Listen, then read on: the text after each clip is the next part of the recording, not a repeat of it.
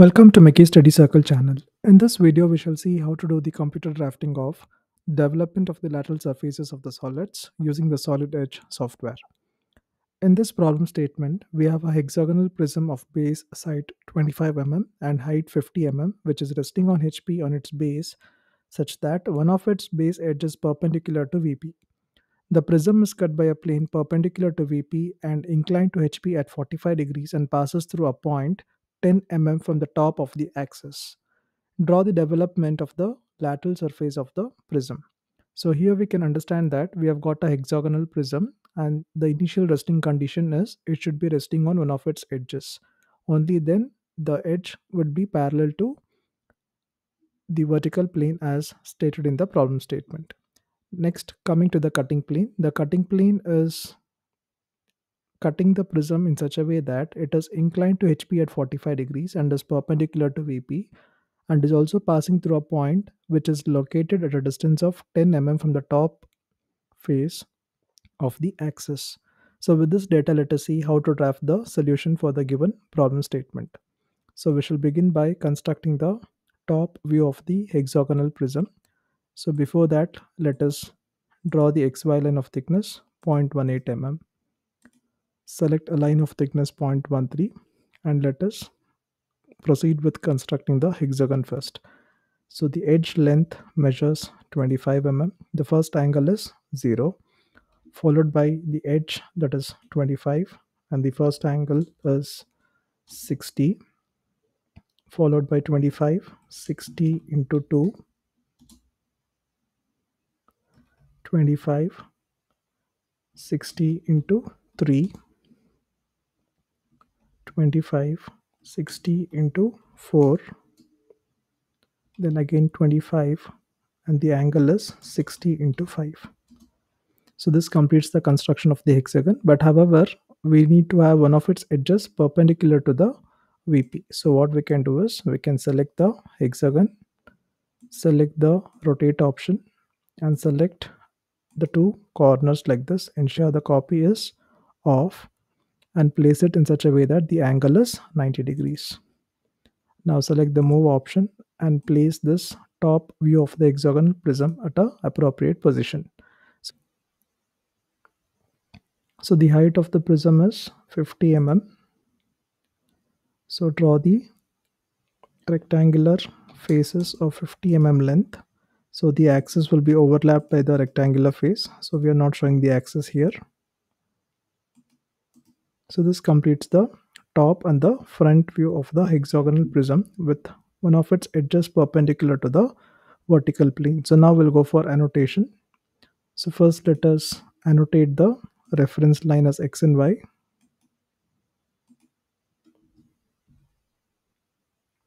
And also the planes as VP and HP. So now we'll take up from this left corner so the corner here is A and A1 where A is the corner of the top face of the prism and A1 is the corner of the base of the prism. So now the next corner is BB1 followed by CC1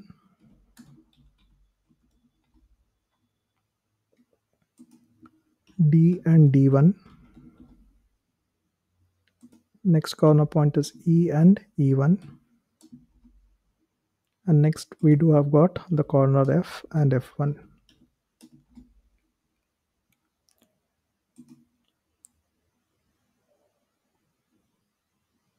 so we can just show the axis point by drawing one more diagonal. So this point is O O1 now let us annotate the front view. So this is d1 dash which is visible first. And behind that lies the corner e1 dash. And similarly the top face will be d dash and inside the bracket e dash. Now we have got c1 dash which is visible first followed by f1 dash inside the bracket Similarly, the top faces C dash and inside the bracket it is F dash. And here we have got the corner B1 dash and a1 dash inside the bracket while the top face is b dash and inside the bracket a dash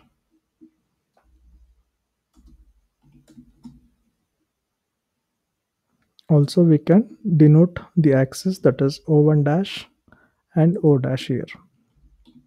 So they're not visible.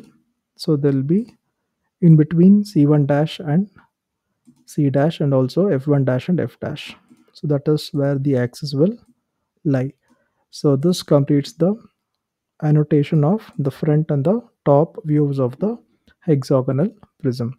So now we'll go for constructing the cutting plane so before we do that let us show the dimensions so any one edge which is measuring 25 mm and the axis measures 50 mm so now we'll mark a point at a distance of 10 mm from the top face on the axis. So the axis will be in between C1 dash, C dash and F1 dash and F dash. And let me mark a point at a distance of 10 mm from the top of the axis. So from the top face, a distance of 10 mm. So go for smart dimensioning and show this distance of 10 mm. So from this point, I need to draw the cutting plane in such a way that it is perpendicular to VP and passing through the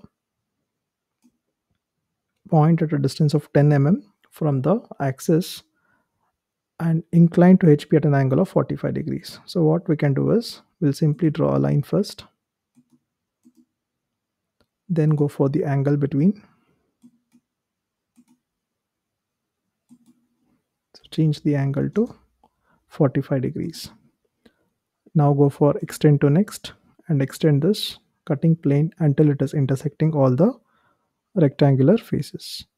Go for the trim option and trim this portion. So this is the cutting plane. Now let us highlight the lower part of the prism which is retained after it is cut. So select a line of thickness 0.50 mm and let it be a continuous line. So darken all the outer edges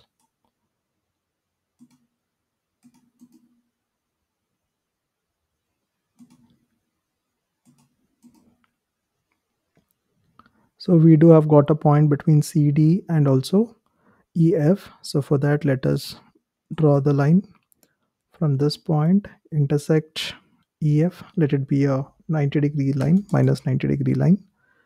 So it is intersecting E and F and E1, F1 and also CD and C1, D1. So this is how we need to mark the points. So these two points that is, uh, okay, so now let us do the annotations of the intersection of the points on the rectangular faces. So now first we shall consider the edge A1 and A. Go for the annotation. So this point will be 1 dash in the front view and the point 1 is on the corner or on the line A1A. So here this is the point 1 in the top view. Similarly, we have got b1 dash and b dash which is in front of a1 dash and a dash and I can denote that point as 2 dash and here it will be the point 2 and next I've got the edge c1 dash and c dash which is intersected by the cutting plane at a point 3 dash in the front view and at a point 3 in the top view. And similarly the next corner or the edge line is d1 dash and d dash intersected at the point 4 dash in the front view and at the point 4 in the top view.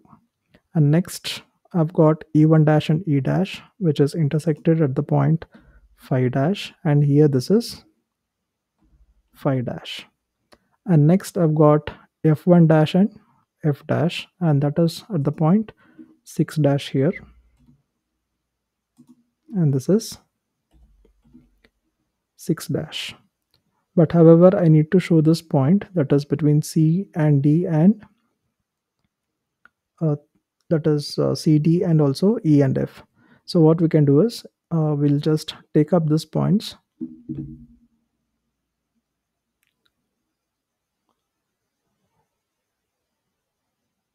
Or we can just show these measurements on the development and we can mark the points. So now we'll cut open the prism. So for that, select a line of thickness 0.13 and keeping XY line as the reference line, draw a line of length 25 into 6 because it is a hexagonal prism. So it should be having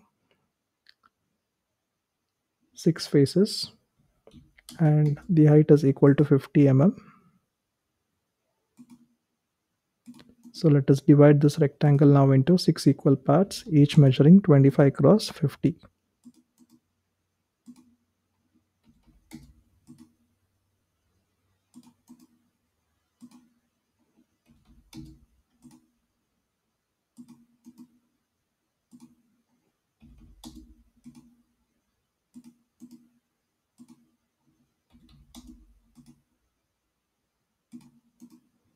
So these are the six phases. So we'll do the annotation of the phases. So this is A1 and A. So this extreme left corner is A, A1. So we'll start it from this point only. B1, B. C1 and C. And this is D1 and D. Followed by E1 and E and next we have got f1 and f. And next we have got a1 and a. So this completes the cut section of the prism. So now let us mark the points. So one is on a1 a and a1a so this is the point one. And next we have got b1 and b2 which is uh, b1 and b which is denoted by the point 2 which is again on the same horizontal line. And next we have got c intersected at the point 3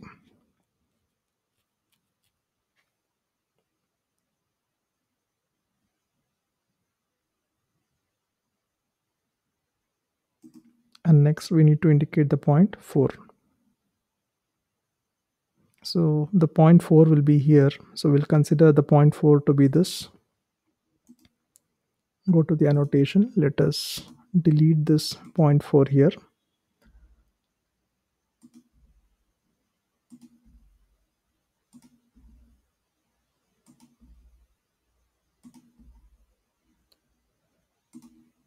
So now we'll consider that the point 4 is on this that is C1, D1 and CD. So let us call this as the point 4 and this is the point 4 dash.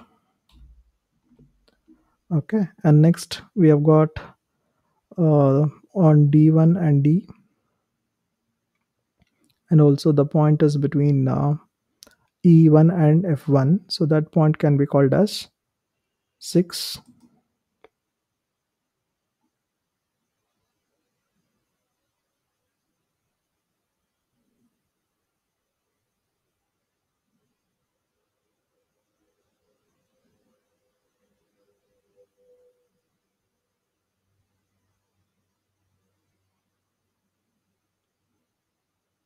okay so this is 0.4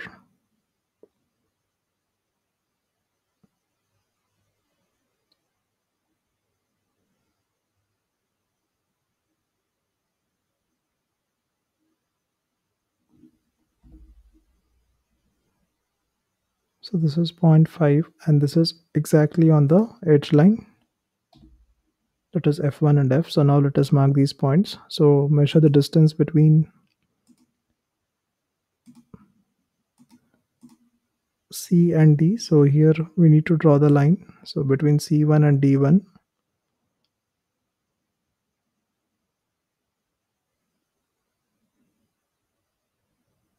Between C and D, let us draw a line of length 11.55 mm. So we'll do the annotation simultaneously. One. This is the point two next this is the point 3 and between C and D we have got the point 4 and next D to E.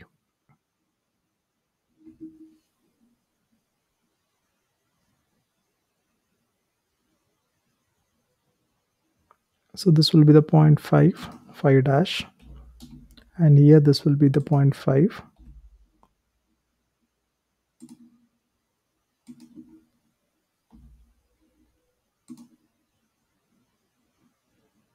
and this we can call it as 6 and here 6 dash. So now we have to measure the distance between E and 6 so go for the distance between E and the point of intersection that is 6 so 13.45 so it is on the edge E and F and the line will be having a length of 13.45 so go for annotation. The 0.5 is on D. And next it is on 6 here. And then again f dash and f1 dash will be intersected by the point 7 so this is 7 dash and here it is 7 it is not 6 so we'll just delete this point 6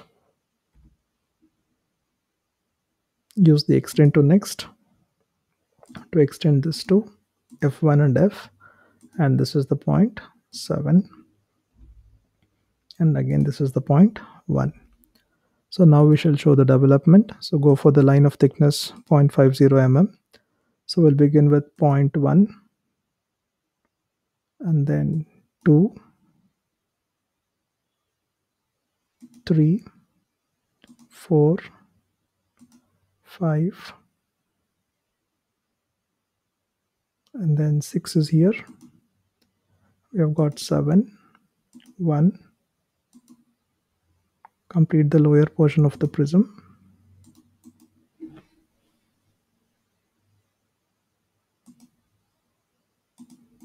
And then we shall join all the rectangular edges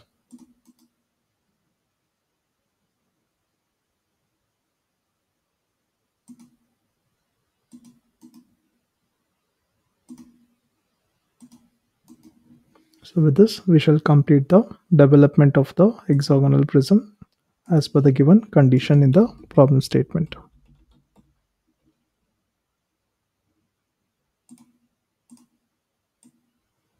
So we have got a hexagonal prism which is resting in such a way that one of its edges is perpendicular to the VP. So here this part can also be darkened. That is the cut section of the prism.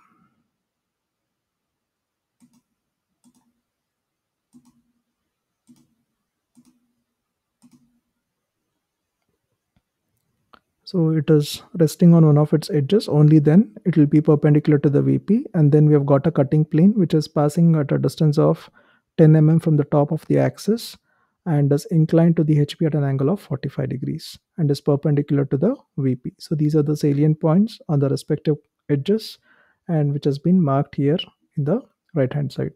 So with this, we complete drafting the solution for the given problem statement. Thank you all for watching.